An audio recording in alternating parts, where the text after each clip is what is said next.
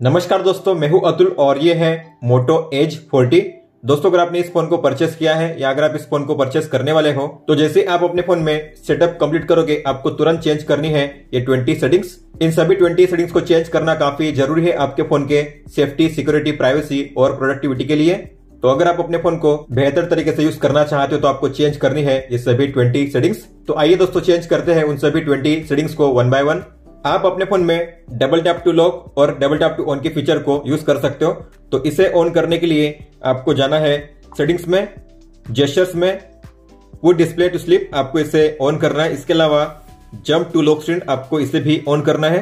क्या आपको पता है, आप अपने फ़ोन में बिना किसी ऐप को डाउनलोड किए व्हाट्सएप के डिलीट किए गए मैसेज को काफ़ी आसानी से रीड कर सकते हो। तो उसे इनेबल करने के लिए आपको जाना है सेटिंग्स में नोटिफिकेशन में नोटिफिकेशन हिस्ट्री को ओपन करके आपको इसे ऑन करना है।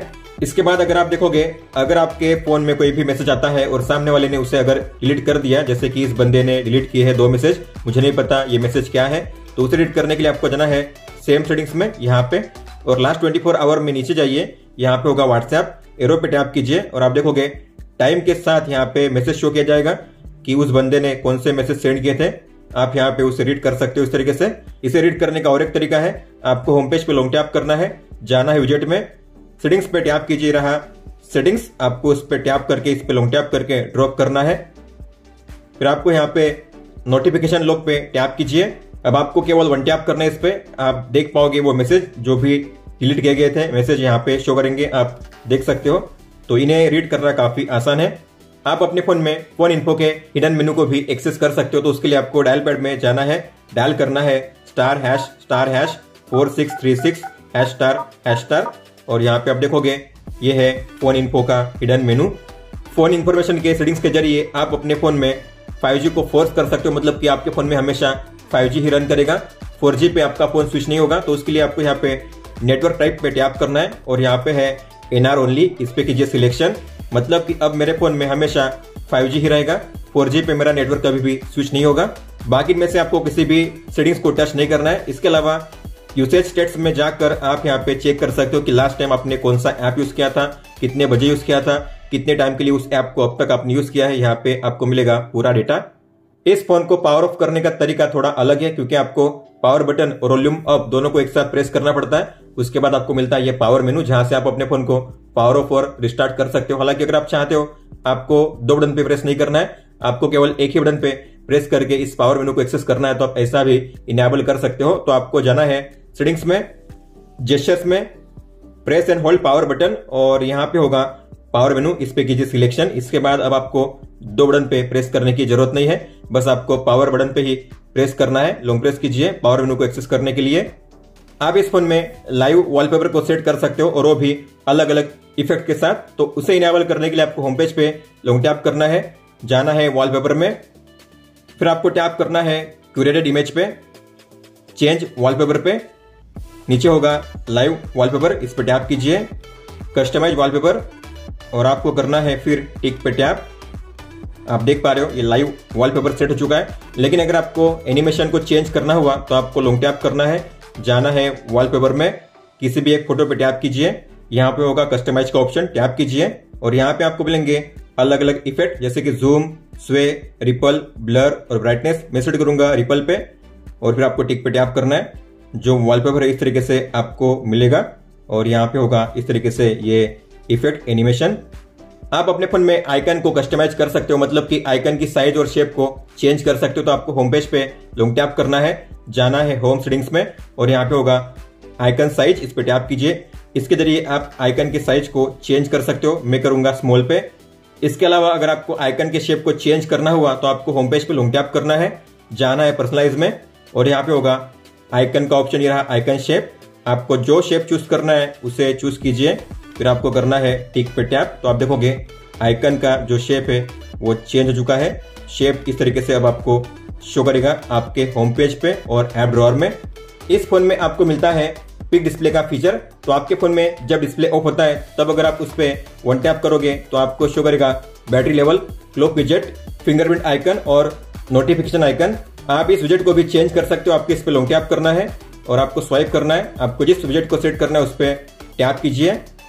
इसके अलावा जो आप एनिमेशन है फिंगरप्रिंट का, उसे भी चेंज कर सकते हो। तो आपको होम पेज पे लॉन्ग टैप करना है। जाना है पर्सनलाइज में। और यहाँ पे होगा फिंगरप्रिंट एनिमेशन इस पे टैप कीजिए। आपको मिलेंगे तीन एनिमेशन रेडियल वेव इस तरीके से बुमरैंग और ये है क्रोमा डायल तो मान लेते मैंने सेट किया है क्रोमा डायल पे तो आप देखोगे इस तरीके से अब आपको फिंगरप्रिंट एनिमेशन शो करेगा। ये है क्रोमा डायल पिक डिस्प्ले की और एक अच्छी बात यह है कि जब भी आपके फ़ोन में कोई भी नई नोटिफिकेशन आती है तो आपके फ़ोन में पिक डिस्प्ले ऑन हो जाता है। तो आप देखोगे इस तरीके से ये ऑन हो जाएगा।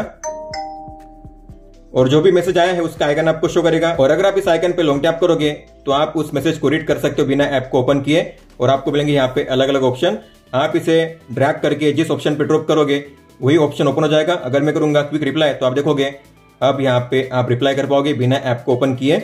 इतना ही नहीं, अगर आप इस पे लॉन्ग टैप करके फिंगरप्रिंट आइकन पे ड्रॉप करोगे तो जो ऐप होगा ओपन हो जाएगा डायरेक्टली अगर आपके फ़ोन में पिक डिस्प्ले का फीचर काम नहीं कर रहा है तो आपको जाना है सेटिंग्स में डिस्प्ले में। यहाँ पे होगा पिक डिस्प्ले आपको इसे ओपन करना है। इसे ऑन कीजिए, जाइए सेटिंग्स में और ये जो ऑप्शन है एनिमेटेड बैकग्राउंड आपको इसे ऑफ़ करना है ताकि बैटरी ज़्यादा यूज़ ना हो इसे ऑन करने पे।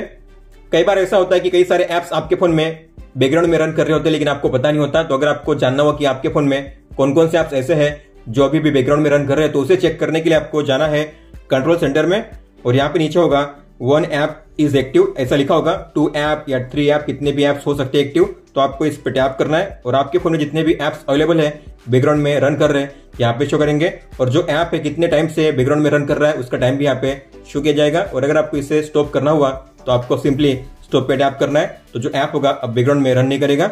मतलब कि अब बैकग्राउंड में उस ऐप के कारण कोई भी बैटरी यूज़ नहीं होगी आपके फ़ोन में। आप जब भी किसी भी ऐप में या वेबसाइट में लॉग करते हो तो आपको पता होगा आपको एंटर करना पड़ता है पासवर्ड और जब भी आप पासवर्ड को एंटर करते हो तो आपको यहाँ पे इस तरीके से लेटर शो करते हैं। जैसे आप टाइप कर रहे हो लेटर भी शो कर रहे हैं। तो अगर आपके बाजू में या बगल में कोई बैठा होगा तो उसे पता चल जाएगा कि आपका क्या पासवर्ड है। तो अगर आप चाहते हो ऐसे टाइप करते हुए मेरे पासवर्ड को यहाँ पे शो ना किया जाए तो आप उसे हाइड भी कर सकते हो। तो आपको जाना है सेटिंग्स में सिक्योरिटी एंड प्राइवेसी में प्राइवेसी में प्राइवेसी कंट्रोल्स में, और रहा शो पासवर्ड आपको इसे ऑफ़ करना है। इसके बाद अगर आप एंटर करोगे पासवर्ड को तो पासवर्ड बॉक्स में अब आपके लेटर शो नहीं करेंगे, केवल शो करेगा डॉट्स इस तरीके से। आप इस फ़ोन में नोच को भी हाइड कर सकते हो। अगर आपको नोच को कभी भी हाइड करना हुआ तो उसके लिए आपको जाना है सेटिंग्स में। अबाउट फ़ोन में सबसे नीचे आपको मिलेगा बिल नंबर आपको इस पर लगातार सेवन टाइम्स टैप करना है। One two three four five six seven फिर जाइए बैक और आपको जाना है सिस्टम में, और यहाँ पे होगा नया ऑप्शन डेवलपर ऑप्शन का, आपको इसे ओपन करना है। नीचे आइए। और आपको मिलेगा ये ऑप्शन डिस्प्ले कटआउट का। आपको इस पर टैप करना है और करना है हाइड आप देखोगे, जो नोच है, अब हाइड हो चुका है। इस तरीके से आप जब चाहे तब नोच को हाइड या अनहाइड कर सकते हो। अगर आपको पहले की तरह करना हुआ तो कीजिए डिवाइस डिफ़ॉल्ट इस फ़ोन में आपको मिलता है मल्टी वॉल्यूम का फीचर मतलब कि आप मल्टीपल एप्स के वॉल्यूम को अलग अलग तरीके से सेट कर सकते हो। तो उसके लिए आपको जाना है सेटिंग्स में साउंड एंड वाइब्रेशन में। और यहाँ पे होगा मल्टी वॉल्यूम आपको इसे ओपन करके इसे ऑन करना है। तो ये है क्रोम और ये है यूट्यूब तो दोनों को मैंने साथ में प्ले किया, ठीक है? अब अगर मैं वॉल्यूम बटन पे प्रेस करूँगा तो आप देखोगे, यहाँ पे शो करेंगे दो आइकन एक है यूट्यूब के लिए और एक है क्रोम के लिए। तो यूट्यूब में जो प्ले कर रहा हूँ मीडिया उसके लिए अलग से वॉल्यूम सेट होगा। और जो क्रोम में प्ले हो रहा है, उसके लिए अलग से वॉल्यूम सेट किया गया है। आप देख सकते हो।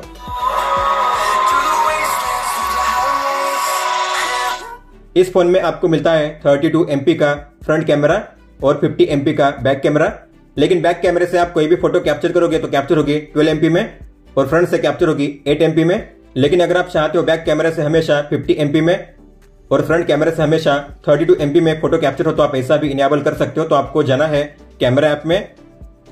मोर में जाइए और यहाँ पे होगा 50 लिखा हुआ, आपको उस पर टैप करना है। अब आप इस मोड में कोई भी फ़ोटो कैप्चर करोगे तो कैप्चर होगी 50 मेगापिक्सल में।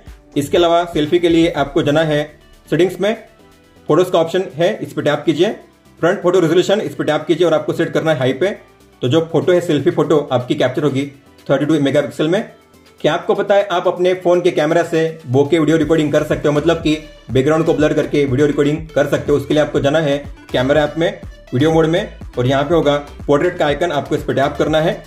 और यहाँ पे होंगे ब्लर करने के लिए स्केल तो आप इसे अगर बढ़ाओगे तो बैकग्राउंड ज़्यादा ब्लर होगा, इसे कम करोगे तो बैकग्राउंड कम ब्लर होगा। इस तरीके से आप अलग अलग ब्लर लेवल को सेट करके बोके वीडियो रिकॉर्डिंग कर सकते हो अलग अलग फॉर्मेट में भी एच फुल एच या फोर इस फ़ोन में आपको मिलता है बैक टैप का फीचर जिसे कहते हैं क्विक लॉन्च तो आप अपने फ़ोन के बैक साइड में डबल टैप करोगे तो अलग अलग एक्सचेंज और ऐप को ओपन कर सकते हो, जैसे कि मैंने सेट किया है स्क्रीनशॉट के लिए। तो आप अपने हिसाब से कोई भी एक्शन ऐप को असाइन कर सकते हो, आपको जाना है सेटिंग्स में जेस्टर्स में क्विक लॉन्च को आपको ओपन करना है, इसे ऑन करना है, जाना है सेटिंग्स में। आपको जिस सेक्शन को सेट करना है उसे सेट कीजिए, जैसे कि स्क्रीनशॉट म्यूज़िक स्क्रीन रिकॉर्डर या आप अपने हिसाब से किसी भी ऐप को ओपन कर सकते हो तो आपको मान लेते सेट करना है किसी ऐप को, जैसे कि व्हाट्सएप तो अगर मैं डबल टैप करूँगा तो मेरे फ़ोन में व्हाट्सएप ओपन होगा, आप देख सकते हो। इस फ़ोन में आपको मिलता है एज लाइटिंग का फीचर मतलब कि आपके फ़ोन में अगर कोई भी कॉल आएगा, कोई भी नोटिफिकेशन आएगी, या कोई भी अलार्म प्ले होगा तो आपको मिलेगा आपके फ़ोन में एज लाइटिंग इफ़ेक्ट अलग अलग कलर के साथ। तो इसे ऑन करने के लिए होम पेज पे लॉन्ग टैप कीजिए। पर्सनलाइज पे टैप कीजिए और यहाँ पे होगा नीचे एज लाइटिंग ये रहा एज लाइट आपको इसे ओपन करना है। आपको अपने हिसाब से कोई भी कलर सेट करना है। अगर आप रखो एक ऑटो पे तो ऐप के हिसाब से कलर शो होगा। आप अपने हिसाब से भी कलर को सेट कर सकते हो। इसके अलावा कॉल अलार्म और ये है नोटिफिकेशन आप तीनों के लिए ऑन कर सकते हो। और अगर आपको इस फीचर को कुछ समय के लिए यूज़ नहीं करना है तो आपको यहाँ पे टाइम सेट करना है। जो टाइम आप यहाँ पे सेट करोगे, उस टाइम के दौरान ये फीचर काम नहीं करेगा आपके फ़ोन में। इस फ़ोन में आपको मिलता है साइड बार का शानदार फीचर तो इसे इनेबल करने के लिए आपको जाना है सेटिंग्स में जेस्टर्स में साइड बार में, आपको इसे ऑन करना है और जाना है सेटिंग्स में। आप यहाँ पे कोई भी सात एक्टिविटीज़ को असाइन कर सकते हो, जैसे कि आपको यहाँ पे टिक करना है तो मैंने पहले ही कर लिया है। अगर आपको इनमें से किसी को रिमूव करना हो तो माइनस के साइन पे टैप कीजिए। ऐड करने के लिए आपको इस तरीके से टिक करना। ये है एप्स ये है टूल्स यहाँ पे आप इसे भी ऑन कर सकते हो। और आप इनका ऑर्डर भी चेंज कर सकते हो। आपको किसी भी आइकन पे लॉन्ग टैप करके ट्रैक करना है। इनके ऑर्डर को चेंज करने के लिए, आगे पीछे करने के लिए। जिस ऑर्डर में यहाँ पे शो कर रहे हैं उसी ऑर्डर में साइड बार में शो करेंगे। तो इसे एक्सेस करने के लिए आपको लाइन पे स्वाइप करना है और आप देख पाओगे यहाँ पे आइकन शो करेंगे। हालाँकि आप इसे जहाँ पे चाहे वहाँ पे मूव भी कर सकते हो, आप उस लाइन पे लॉन्ग टैप करना है, ऊपर नीचे ट्रैक करना है। यहाँ पे भी आप उसे प्लेस कर सकते हो और डायरेक्टली आप यहाँ से उसके सेटिंग्स को एक्सेस कर सकते हो सेटिंग्स के आइकन पे टैप करके। तो यहाँ पे है स्क्रीनशॉट का टोगल इसके अलावा स्क्रीन रिकॉर्डिंग का टोगल भी यहाँ पे आपको मिल जाएगा। तो शॉर्टकट्स और जो ऐप्स है, आप इस तरीके से साइड बार को एक्सेस करके ओपन कर सकते हो फ्री फॉर्म विंडो में हमेशा के लिए। अब जब भी किसी भी आपको स्प्लिट विंडो में ओपन करते हो तो आपको पता होगा आपको इस तरीके से इसे ओपन करना है। ये रहा स्प्लिट विंडो स्प्लिट टॉप और बाद में नीचे किसी भी ऐप को ओपन कर सकते हो। अब अगर आपको इन ऐप को स्विच करना हुआ, इसे नीचे और इसे ऊपर करना हुआ तो आपको बीच में जो लाइन है व्हाइट वाली लाइन आपको इस पर डबल टैप करना है। तो ऐप जो होंगे स्विच हो जाएँगे इस तरीके से ऊपर नीचे। सेम तरीके से अगर आप किसी भी ऐप को ओपन करोगे फ्री फॉर्म विंडो में तो आपको यहाँ पे मिलते हैं कुछ हिडन सेटिंग जैसे कि ऊपर में यहाँ पे तीन आइकन शो करेंगे मिनिमाइज मैक्सिमाइज और यहाँ पे क्लोज का बटन है। हालाँकि आप इन्हें हाइड कर सकते हो। हाइड करने के लिए आपको इस लाइन पे डबल टैप करना है। जो मेनू होंगे हाइड हो जाएँगे। अगर आपको फिर से उस मेनू को देखना हुआ तो डबल टैप कीजिए। इस तरीके से आप उस मेनू को हाइड अनहाइड कर सकते हो बड़ी आसानी से। आप इसकी साइज़ भी चेंज कर सकते हो इस तरीके से। और ये है मैक्सिमाइज ये है मिनिमाइज अगर आप इसे करोगे मिनिमाइज तो इस तरीके से हाइड हो जाएगा। और आप इसे जहाँ पे चाहे पे मूव कर सकते हो और इसे रिमूव करने के लिए ट्रैक कीजिए नीचे बिन में। मान लेते हैं आपका फ़ोन लॉक है और ऐसे में अगर आपको क्विकली अपने फ़ोन में कैमरा को लॉन्च करना हुआ तो आपको ट्विस्ट करना है दो बार, ऐसे आपके फ़ोन में कैमरा ओपन होगा।